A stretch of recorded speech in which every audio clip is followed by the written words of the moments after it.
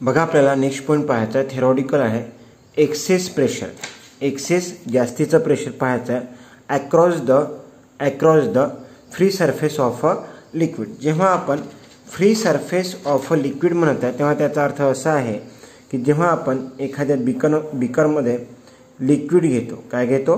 Liquid घेतो.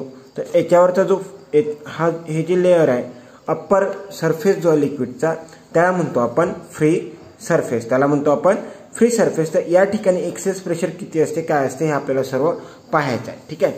बघा आता every molecule on a liquid surface liquid सरफेसवरचा प्रत्येक molecule experience forces due to surface tension बरोबर आहे? आपण म्हटलं आहे की, जे मॉलिक्युल्स अप्पर सरफेसमध्ये असतात, किंवा those molecules which lies in the surface whose thickness is equal to the range of molecular force किंवा यालाच आपण म्हटलेलं आहे सरफेस फिल्म यालाच म्हटलेलं आपण सरफेस फिल्म सरफेस फिल्ममधला प्रत्येक मॉलिक्यूल जो आहे याच्यावर काय ॲक्ट होते तर downward net net cohesive force cohesive force आणि इथचे जे मॉलिक्युल्स आहेत ते पुलअप केले जातात इन द डाऊनवर्ड डायरेक्शन त्याच्यामुळे इथचा एरिया काय होत असतो? कमी होत असतो. हे सुद्धा आपण पाहिलेलं आहे. ठीक आहे? तर आपल्याला हाच थोडासा विचार करायचा आहे.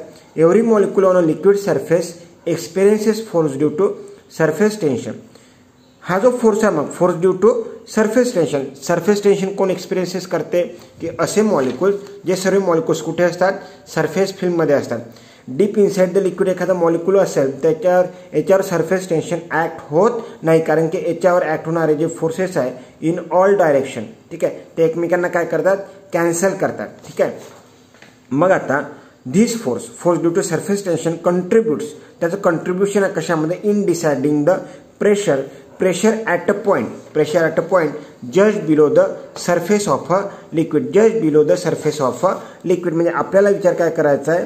की जर हे जर फ्री हा जर फ्री सरफेस असेल हा जर काय असेल? फ्री सरफेस असेल. तर याच्याखाली जर एखादा पॉईंट घेतला याच्याखाली जर एखादा पॉईंट घेतला ज्याला म्हटलेला आहे जस्ट बिलो द किंवा हा जो पॉईंट आहे हा पॉईंट जर बी आहे तर बी हा जो मॉलिक्यूल आहे हा मॉलिक्यूल कसा आहे? तर just below the free surface आहे. Just below the free surface आहे. आणि आपल्याला विचार करायचा आहे प्रेशरचा pressure at this point okay now the बघा पुढचं महत्त्वाचं वाक्य direction of the resultant force direction कशाची? Resultant force resultant force of surface tension surface tension हा जो एक फोर्स आहे जो की सरफेस फिल्ममधल्या मॉलिक्युलर ॲक्ट होतो याची जी डायरेक्शन आहे ही डायरेक्शन डिपेंड करते upon the upon the shape of that liquid surface upon the shape of that liquid surface ठीक आहे? बरं काय म्हटलं आपण? हा लिक्विड लिक्विड सरफेस आहे. याच्या खाली जर एखादा पॉईंट घेतला तर या पॉईंटवर प्रेशर किती आहे याचा आपल्याला विचार करायचा आहे याचा आपल्याला विचार करायचा आहे. मग आपण असं म्हटलं की जे नेट डायरेक्शन असेल कशाची तर force due to force due to surface tension this acts this depends on the this depends on the shape of the liquid surface shape of the liquid surface mug shape of the liquid surface काय राहू शकते? एखादा shape plane राहू शकते. Plane surface राहू शकते. बरोबर आहे? एखाद्या ठिकाणी हा जो आहे, हा असा झालेला असेल, असा झालेला असेल, म्हणजे हा जो आहे, हा कॉड इनसाईड आहे. आपण जर वरून जर पालता हा कॉड इनसाईड आहे, म्हणजे हा जो आहे, हा सरफेस कॉन्क्युअर होऊ शकते. किंवा हा सरफेस अशा प्रकारचा राहू शकते. अशा प्रकारचा राहू शकते. या ठिकाणी काय झालं? हा कौड आउटवर्ड झाला. कौड आउटवर्ड झाला. म्हणजे हा सरफेस कोणता झाला? तर कॉन्व्हेक्स झाला. ठीक आहे? तर या ठिकाणी मी पहिली डायग्राम बघा पहिल्या डायग्राममध्ये आपण तीन केसेस पाहायचा आहे. Excess pressure on the free surface of लिक्विडमध्ये first diagram आहे प्लेन सरफेसची ही झाली आपल्यासाठी फर्स्ट केस प्लेन सरफेसचे ए जो मॉलिक्यूल आहे A molecule is is just above the just above just above the free surface just above the free surface okay molecule B जो आहे मॉलिक्यूल बी जो आहे तो just below the free surface just below the free surface of liquid ठीक आहे. म्हणजे आता ए आणि बीमध्ये जर पाहिला ए आणि बीमध्ये एक असा कॉलम तयार झालेला असू कॉलम तयार झालेला असू शकतो, पण याच्यामधलं इन डिफरन्स इन हाईटमुळे ए आणि बीच्या डिफरन्स इन हाईटमुळे येथे एक प्रेशर ग्रेडियंट तयार होऊ शकते. प्रेशर ग्रेडियंट तयार होऊ शकते. आपल्याला माहीत आहे की जी प्रेशर आहे जशी जशी हाईट चेंज होते तशी तशी प्रेशरसुद्धा चेंज होते. मग त्याप्रमाणे ए आणि बी घेतला. पण बघा आपल्याला काय म्हणायचं आहे ए आणि बीमध्ये ए आणि बी ठीक आहे याच्यामध्ये थोडासा डिफरन्स आहे. ए जस्ट अबो आहे बी आर जस्ट बिलो आहे. परंतु हे इतके क्लोज आहे की त्याच्यामधला जो डिफरन्स आहे तो कमी आहे, खूप कमी आहे हाईटमधला डिफरन्स त्याच्यामुळे त्याच्यामुळे याच्यामध्ये प्रेशर डिफरन्स जो आहे प्रेशर डिफरन्स हा नियरली इक्वल टू झिरो आहे. नियरली इक्वल टू काय? तर झिरो आहे. म्हणजे आपण असं शकतो की P A is equal to P B pressure at A is equal to pressure at B सुद्धा आपण म्हणू शकतो. कारण की डिफरन्स तर एकदम कमी आहे. ठीक आहे? आता बघा, या केसमध्ये ए जो मॉलिक्यूल आहे. ए जो मॉलिक्यूल आहे. हा कुठे आहे तर अबोधो फ्री सरफेस आहे. हा जो आहे, हा ॲटमॉस्फिअरमध्ये एअरमध्ये आहे एअरमध्ये आहे. तर मला सांगा एवर ॲक्ट होणारा force force acting on the A और pressure pressure at A must be equal to atmospheric pressure must be equal to equal to atmospheric pressure pressure because A is in in the air. In the air means in the atmosphere. So, pressure on a is the atmospheric pressure. Okay. But pa is equal to pb आता जर atmospheric pressure जर P म्हणजे ए वर असेल ए वर असेल. ठीक आहे? पण एक महत्वाचा प्रेशर डिफरन्स काय तर झिरो आहे. मग आता पी ए ॲटमॉस्फेरिक प्रेशर आहे. या प्रेशरमुळे ॲक्ट होणारा जो फोर्स असेल, जो force acting on A acting on A force acting on A मला सांगा ॲटमॉस्फेरिक प्रेशर जर असेल तर ते डाऊनवर्ड असेल तर force acting on A that is F A also acts in the downward direction downward direction त्यानंतर महत्त्वाचं ठीक आहे? जर सरफेस हा प्लेन असेल सरफेस हा प्लेन असेल तर दोन गोष्टी मी इथे लिहितो फक्त ज्या कन्क्लुझिंग आहे. एक P A is equal to P B PA is equal to PB, pressure at A is equal to pressure at B because the difference is very small. Okay. After that, as PA is equal to PB, so pressure difference is 0. And when the surface is plane, when the surface is plane, the net net force net force due to surface tension is also equal to zero also equal to net force due to surface tension is also equal to zero आपल्याला हा F T बघा, इकडे दिसते आणि इकडे दिसते त्यामुळे ते एकमेकांना कॅन्सल करतात. मग येथे जो सरफेस तो कसा प्लेन ठीक आहे? त्यानंतर आपल्याला सेकंड केस पाहायची सेकंड केस पाहायची आहे कॉन्व्ह कॉन्व्हेक्स सरफेसची कोणती? कॉन्व्हेक्स सरफेसची या ठिकाणी एफ़ ए एफ़ ए हा एक फोर्स आहे. एफ़ ए काय? तर डाऊनवर्ड फोर्स आहे. downward force due to due to atmospheric pressure due to atmospheric pressure. Because a is in the a, mole, a molecule is inside in the air in the atmosphere okay? Here the important thing is ft ft is the force due to surface tension. Force due to surface tension net force due to surface tension acts in the acts in the downward direction acts in the downward direction. Now here fa also acts in the downward direction ft also acts in the downward direction so these two forces gets add up add up याची add addition करावी लागेल because both the both the forces force due to atmos atmospheric pressure is also acting downward and when the surface is convex convex means what when we will see this from the out outside this curved surface is outward so this is the convex this is the convex. So in the in the case of convex surface force due to surface tension also acts in the downward direction. मग सरळ सरळ F E सुद्धा downward F T सुद्धा downward आणि या दोघांची काय होते? Addition होते. F A plus F T gets added up मग याच्यामुळे काय होते? दोन्ही फुस बघा याच्यावर ए जो आहे एवर तर ॲटमॉस्फेरिक प्रेशर आहे. पण बीवर बघा बीवर बीचा जर विचार केला बी मॉलिक्यूलचा याच्यावर वरून येणारा ॲटमॉस्फेरिक प्रेशरही आहे. आणि एफ टी एफ टीमुळं किंवा जो force due to surface tension आहे याच्यामुळे ॲक्ट होणारा फोर्ससुद्धा कोणता आहे? डाऊनवर्ड आहे. म्हणजे बीवर दोन्ही फोर्सची ॲडिशन होते आणि खाली ॲक्ट होणारा प्रेशर जे आहे फोर्स आहे हा कसा आहे तर जास्त आहे मग बघा काय म्हणावं लागतं आपल्याला कारण की आपण what we are thinking about we are thinking about the excess pressure at a point which is just below the surface just below the liquid surface we are thinking about the pressure acting at point b when the surface is convex fa and ft both are acting in the downward direction these two forces gets added up these two forces gets added up so pressure at b is greater than pressure at A pressure at B is greater than pressure at a. हे समजलं pressure at b or pressure at b is the summation of the pressure at a and the and the pressure due to surface tension or this pressure pressure म्हणजे काय? शेवटी force upon area जेवढा force जास्त, तेवढं pressure जास्त.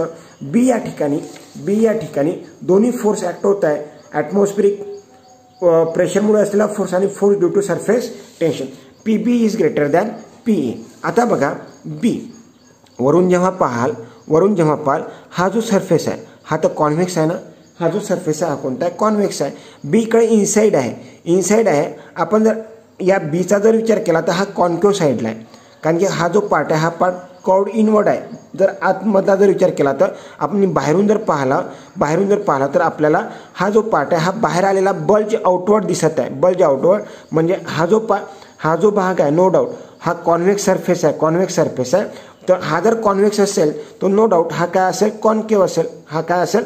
Concave असेल. पण तो वरतून पाहताना सरफेस कसा आहे? तर हा कॉन्व्हेक्सच आहे. बल्ज आउटवर्ड आहे. ओके काउड आउटवर्ड आहे. मग P B is greater than P A but B B बघा कोणत्या साईडला आहे. बी कोणत्या साईडला कॉन्केव साईडला म्हणून आपण असं म्हणू शकतो की pressure at the concave side is greater than pressure at the convex side pressure at the convex side concave side कोण कुठे आहे? इनवर्ड आतमधली साईड आहे कॉन्केव आहे?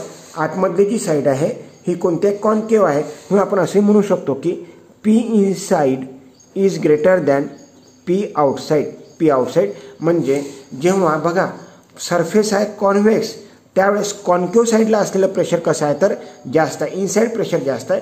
Pressure at B is greater than pressure at A because both the forces get added of here at B आता बघा या third case पाहायची आपल्याला. थर्ड केस ठीक आहे? थर्ड केस कोणती आहे? थर्ड केस आहे आपल्यासाठी कॉन्क्यू सरफेस कोणते? कॉन्क्यू सरफेस कॉन्क्यू केव्हा म्हणत आहे आपण? When we will see this surface when we will see this surface from outside outside जेव्हा आपण वरून बघू आपण सरफेस आपण पाण्याच्या आतमधून जाऊन तर पाहणार नाही. वरून पाहिल्यानंतर आपल्याला हा सरफेस अशा प्रकारचा आपल्याला दिसतो. मग वरून पाहिल्यानंतर वरून पाहिल्यानंतर आपल्याला हा जो आहे हा भाग असा आतमध्ये दि, दि, गेलेला दिसत आहे. म्हणजे वरून जर पाहिलं तर हा कौड इनवर्ड आहे. कौड इनवर्ड आहे म्हणजे हा जो सरफेस आहे हा सरफेस कोणता झाला? कॉन्क्यू सरफेस काय झाला? कॉन्क्यू आता बघा कॉन्क्यू सरफेस असते तेव्हा काय असते? ठीक आहे? जो हा जो आहे एवर ॲक्ट होणारा एवर ॲक्ट होणारा हा जो आहे एफ ए तर आहेच आहे. F A is acting F A is acting downward हे प्रत्येक केसमध्ये आहे. ठीक आहे? या ठिकाणी जेव्हा सरफेस कॉन्क्यू असतो, तेव्हा तुम्हाला लक्षात ठेवायचं आहे की force due to surface tension acts in the upward direction force due to surface tension acts in the upward direction मग आता या दोघांचा जर रिझल्टंट पाहिला, या दोघांचा जर काय पाहिला रिझल्टंट पाहिला, तर आपल्याला दोघांमधला काय घ्यावं लागेल? डिफरन्स घ्यावा लागेल. डिफरन्स घ्यावा लागेल. आपल्याला नेट फोर्स नेट फोर्स काय होईल? तर in the net force acts in the in the upward direction net force acts in the upward direction बरोबर आहे? जो नेट फोर्स आहे, हा कुठे ॲक्ट होईल तर अपवर्ड डायरेक्शनमध्ये ॲक्ट व्हायला पाहिजे. मग थोडं या नेट फोर्सच्या बाबतीत, हा जो नेट फोर्स आहे ना, या ठिकाणी एफ़ ए ठीक आहे? एफ़ ए तर ॲक्टिंग डाऊनवर्ड आहे. एफ़ टी कसं आहे? तर ॲक्टिंग अपवर्ड आहे. ॲक्टिंग अपवर्ड आहे. मग नेट फोर्स काढताना आपण काय करू? एफ़ ए आणि एफ़ ए आणि एफ़ टीमधला डिफरन्स घेऊ. हा जो ॲटमॉस्फेरिक प्रेशर आहे ॲटमॉस्फेरिक प्रेशर कसं असते? जास्त कशापेक्षा? एफ़ टीपेक्षा एफ़ टीपेक्षा मग एफ़ ए डाऊनवर्ड आहे. एफ़ टी अपवर्ड आहे. Force due to surface tension या केसमध्ये अपवर्ड आहे. अपवर्ड आहे. मग या जर नेट फोर्स काढला नेट फोर्स कुठे असेल? तर नेट फोर्स अपवर्ड नसेल. तर नेट फोर्स हा डाऊनवर्ड असेल. डाऊनवर्ड असेल. कारण की असा जो फोर्स आहे, हा जो फोर्स आहे एफ़ ए आहे. वरतून जो ॲक्ट होणारा फोर्स आहे या केसमध्ये वरतून ॲक्ट होणारा जो फोर्स आहे तो कोणता? Force due to surface tension हा जो फोर्स आहे एफ़ ए हा एफ़ ए फोर्स जास्त आहे. जास्त आहे. म्हणजे फॉर एक्झाम्पल हा जर दहा न्यूटन असेल तर हा आठ न्यूटन आहे. मग दहा, आठ आठ कॅन्सल होऊन डाउनवर्ड फोर्स ॲक्ट व्हायला पाहिजे किती? Two newton. Downward force act व्हायला पाहिजे किती? Two newton. मग आता पहा net downward force net downward force होईल कोणावर? On on molecule B on molecule B which is which is just below the which is just below the free surface आपण याचाच विचार करत आहे pressure at a point which is just below the free surface मग बीवर बीवर जो force act होईल तर तो काय असेल या दोघांची सबट्रॅक्शन असेल. मग बीवर आपण म्हटलं की जसं टू न्यूटन इतका फोर्स जर ॲक्ट झाला टू न्यूटन का का झाला? कारण की force due to surface tension जर एट न्यूटन असेल ॲटमॉस्फिरिक फोर्स जो आहे तो जरा जास्त असेल तो जर आपण टेन न्यूटन घेतला तर टेन आणि एटमधला डिफरन्स टू आहे, पण टू ग्रेटर असेल कशामध्ये? डाऊनवर्डमध्ये ठीक आहे? मग आता हा जो फोर्स आहे, हा फोर्स ऍक्ट होता कोणावर? बीवर पण एवर फक्त एचा विचार करा आता. ए आणि बीची कंपॅरिझन के करायचे. एवर तर फोर्स ऍक्ट होत आहे कोणता? एफ़ ए फोर्स ऍक्ट होता F A which is greater which is greater आता बघा एफ़ ए या केसमध्ये काय होईल? F A is greater than F B F A is greater than F B ठीक आहे? A F A A molecule is outside so pressure outside is greater than pressure inside pressure pressure outside is greater than pressure inside ठीक आहे त्यानंतर, जो ए आहे ए हा outside आहे. वरून पाहिला तर कॉन्क्यू साईडने वरून जर पाहिला तर ए जो आहे तो कॉन्क्यू साईडने आहे बरोबर आहे ना? मग येथे आपण काय लिहू शकतो? तर येथे सुद्धा आपण लिहू शकतो P concave P concave is greater than is greater than P convex concave convex म्हणताना विचार करायचा की आपण कुठून पाहताय? बाहेरून पाहताय आउटसाईडनं पाहताय. आउटसाईडनं पाहताय. दोन्ही केसमध्ये कॉमन आलं की दोन्ही केसमध्ये P concave is greater than P कॉन्व्हेक्सच आलेलं आहे. पण एका केसमध्ये याच्या अगोदरच्या केसमध्ये असं होतं या केसमध्ये जर पाहिलं तुम्ही तर या ठिकाणी बीवर दोन्ही फोर्सेस दोन्ही फोर्सेस जे आहे ते ॲडअप झाले होते. त्याच्यामुळे या ठिकाणी होणारा प्रेशर जे आहे प्रेशर ॲट बी काय होतं? तर ग्रेटर होतं कशापेक्षा? पी एपेक्षा कारण की दोन्ही फोर्सेस या ठिकाणी काय झाले होते? ॲडअप झाले होते. ठीक आहे? आता बघा इन शॉर्ट प्लेन सरफेस असेल, काय असेल? प्लेन सरफेस असेल. हा मॉलिक्युल ए आहे, हा मॉलिक्युल बी आहे. F T force due to surface tension zero आहे. एफ़ ए जो असेल एफ़ ए हाच डिसाइडिंग फॅक्टर आहे. आणि P A is equal to P A is equal to P B आहे. त्यामुळे प्रेशर डिफरन्स झिरो आहे. प्रेशर डिफरन्स काय आहे तर झिरो आहे प्लेन सरफेस पाहायला मिळेल. ठीक आहे? त्यानंतर जर म्हटलं की कॉन्व्हेक्स ठीक आहे? कॉन्व्हेक्स लिक्विड सरफेस जर पाहिला कॉन्व्हेक्स म्हणजे आउटवर्ड आलेला आहे जर आलेला ठीक आहे? या ठिकाणी होते? तर एफ़ ए हा जो ए आहे, हा एफ़ ए ठीक आहे? बी कुठे आहे तर just below the liquid surface आहे. हा F T downward F A F T दोघांची काय होते? ॲडिशन होते. जो बी आहे बीवर मग जास्त प्रेशर ॲक्ट होते. P B is greater than P A बरोबर आहे? जर बी जर पाहता आत आतमध्ये आहे आतमध्ये. बाहेरचा बाहेरून जर पाहिला तर ए हा ए जो आहे हा कॉन कॉन्व्हेक्स साईडला येतो पण बी हा कॉन्क्यू साईडला येतो. म्हणून P concave is greater than P convex आणि बी हा इनसाईड आहे म्हणजेच P inside is greater than P outside ठीक आहे? हा पूर्ण क्रक्स आहे याचा कॉन्क्यू आता जर आपण कॉन्क्यू जर पाहिला कॉन्क्यू म्हणजे असा जर पाहिला हा ए आहे. हा ए आहे हा बी आहे B is just below the free surface A आणि बीचा विचार केला. या ठिकाणी काय होते? ए तर नेहमी खालीच आहे पण बी हा अपवर्ड आहे. बी हा अपवर्ड आहे. मग बीवर जर पाहिला तर नेट फोर्स जो आहे नेट फोर्स ॲक्ट होतो which is less than F A म्हणजे इथे असं असेल की बाहेरचं प्रेशर जास्त आहे. या ठिकाणी नेट डाऊनवर्ड फोर्स काय लेस येईल. जसं ट्यू न्यूटन आलं होतं P inside greater than P outside येऊन जाईल. पी इनसाईड पी इनसाईड बघा काय म्हटलं आपण? सॉरी हा पॉईंट चालू आहे आपला. बाहेर जो आहे, बाहेरचा फोर्स जास्त आहे, म्हणजे P A is greater than P A is greater than P B किंवा P B is less than P A त्याचप्रमाणे असं म्हणता की बी जो आहे बी हा आतमध्ये आहे ए हा बाहेर आहे. एवर प्रेशर जास्त आहे.